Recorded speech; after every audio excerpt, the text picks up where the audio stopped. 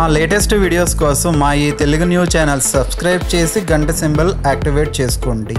ప్రతి నెలలో పౌర్ణమి అమావాస్యలు సర్వసాధారణంగా వస్తూ ఉంటాయి.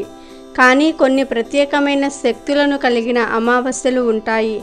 రేపు తొమ్మిదిన వచ్చే జ్యేష్ఠ అమావాస్య కూడా వాటిల్లో ఒకటి. రేపు జూలై తొమ్మిదిన జ్యేష్ఠ అమావాస్య వస్తుంది. అందులోనూ ఇది శుక్రవారంతో కలిసి వస్తుంది. దీనిని శుక్ర అమావాస్య అని కూడా పిలుస్తూ ఉంటారు. ఈ అమావాస్య ఎన్నో అతేంద్రియ శక్తులను కలిగి ఉన్నదని అందువలన జ్యేష్ఠ పుత్రులు ఉన్నవారు అంటే మొదటి సంతానం పుత్ర సంతానంగా ఉన్నవారు ఇప్పుడు మనం చెప్పుకోబోయే ఒక పరిహారం చేయాలని లేదంటే కష్టాలు తప్పవని పండితులు చెప్తూ ఉన్నారు. మరి ఆ విషయాలను ఇప్పుడు మనం ఈ వీడియోలో తెలుసుకుందాం. మొదటి సంతానం పుత్రుడు ఉన్నవారు అలాగే ఒకే ఒక్క సంతానం కొడుకు ఉన్నవారు కూడా ఈ పరిహారం చేయాలని పండితులు సూచిస్తూ ఉన్నారు. ఇంట్లో మొట్టమొదటిగా పుట్టిన సంతానం ఎవరైతే ఉంటారో వారిని జ్యేష్ఠులు అంటారు. అమ్మాయిలైనా అబ్బాయిలైనా సరే మొదటి సంతానాన్ని జ్యేష్ఠులు అంటారు.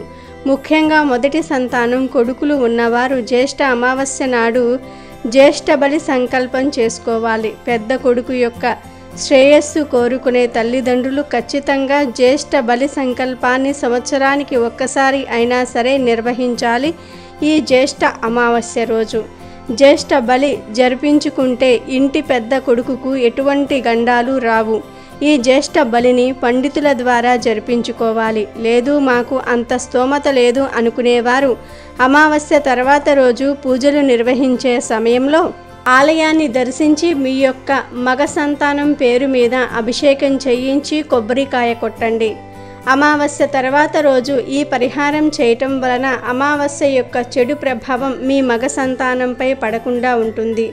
అలాగే ఈ అమావాస్య రోజు ఉదయమే నిద్రలేచి కుల దేవతా మూలాన్ని పాలతోటి నీళ్ళతోటి శుభ్రం చేస్తున్న తర్వాత గంగా కుంకుమాదులు అలంకరించి ఆ కులదేవతా మూలాన్ని మీ ఇంట్లో ఎన్ని గదులు ఉంటే అన్ని గదుల్లో సాంబ్రాణి పొగతో తిప్పండి. తిప్పిన తర్వాత కులదేవతా మూలాన్ని పూజా మందిరంలో యథాస్థానంలో పెట్టేసి ఎర్రటి రంగు పూలు సమర్పించి ఇంట్లో ఉండే జ్యేష్ఠ దేవత అంటే దరిద్ర దేవత వెళ్ళిపోవాలని నమస్కారం చేసుకుంటూ ఐశ్వర్యలక్ష్మి ఇంట్లో అడుగు పెట్టాలని కోరుకుంటూ అమ్మవారికి బెల్లం పొంగలి నైవేద్యం పెట్టండి. ఇలా నివేదన చేసి పూజించటం వలన జ్యేష్ఠ అమావాస్య రోజు కులదేవత అనుగ్రహం మీకు కలిగి విశేషమైన సంపద మీ ఇంట్లోకి వస్తుంది. దరిద్ర దేవత ఇంటి నుండి వెళ్ళిపోయి ఐశ్వర్యలక్ష్మి ఇంట్లో అడుగు పెడుతుంది. ఈ ప్రక్రియను అత్యంత భక్తిగా చేయాలి నైవేద్యంగా పెట్టిన ప్రసాదాన్ని ఇంటిల్లిపాది ప్రసాదంగా స్వీకరించండి. జ్యేష్ఠ అమావాస్య రోజు చేసే కుల దేవతా ఆరాధన విశేషమైన ఫలితాలను ఇస్తుంది. జ్యేష్ఠ అమావాస్య రోజు ఇలా చేయటం వలన విశేషమైన ఐశ్వర్యం కలుగుతుంది. కనుక రేపు వచ్చే జ్యేష్ఠ అమావాస్య రోజు అందరూ కూడా ఈ నియమాలను పాటించండి.